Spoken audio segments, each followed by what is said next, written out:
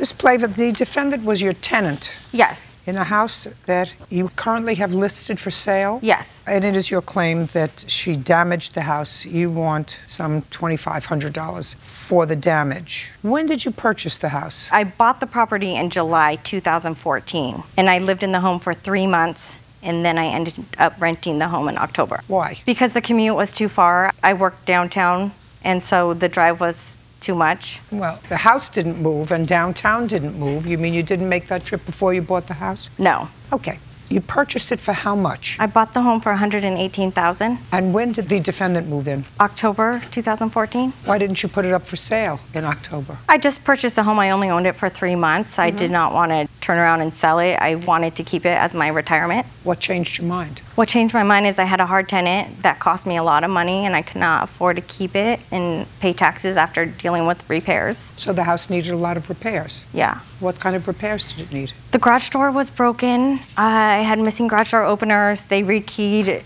No, I'm not talking about them. I'm talking about what repairs had to be done with the house that had nothing to do with the defendant. When I purchased it, none.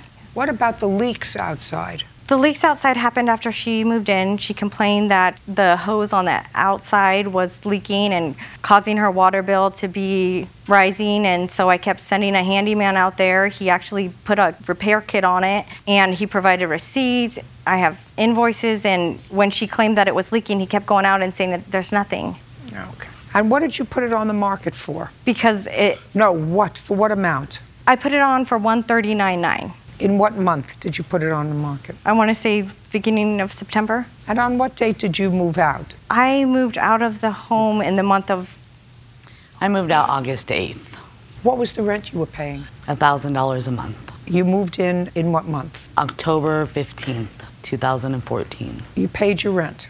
Correct. There's no indication that she did not pay her rent, correct? correct. Okay. And you moved to evict her in July. Yes. What reason did you give her for wanting her out of the premises? Since the time that she moved in, I had multiple complaints from the neighbors, and also um, a landscaper refused to go back to the house, saying that people were offering him drugs. And I just had an agreement with her that she was going to move her daughter in for an additional fee of 300. And then when it came time to pay up, she didn't pay, and she made every excuse why not to pay. And so I just got an attorney at that point. So she wanted to add a tenant. Right. But the tenant was more than just her daughter. It was her daughter, her daughter's boyfriend, and then her daughter's daughter. And I don't even know if it was truly her daughter. But she asked you before that happened. Just for the daughter, not the boyfriend and the baby. Got it. Okay. Did you have a lease agreement with her? Yes. And the lease agreement provided for who to live there? The husband, the wife, and three minor children. Okay. And this was the daughter that you wanted to move in.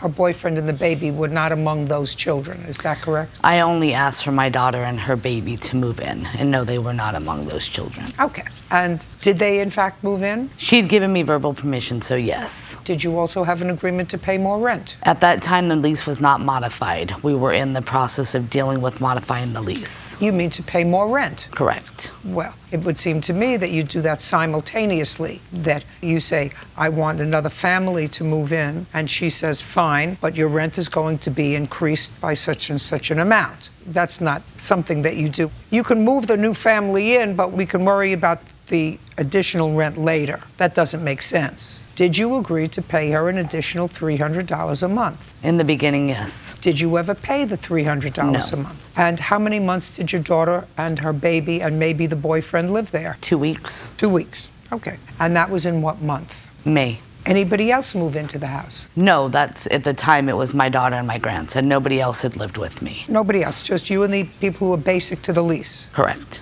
You have any proof otherwise? In the month of April, she asked to add on her daughter. So her daughter's been staying since April. She said she moved out in May. Do you have any indication that the daughter did not move out in May? Yes, I do have an indication that her daughter did not move out in May. I have a rental application that she applied for her daughter to move in May 17th. The middle of May? Yes. But she said she moved out in May, and she was there only two weeks. Mm-hmm. Is that what, you- is that what you Correct, Your? Honor. May I see pictures of the damage, please? yes.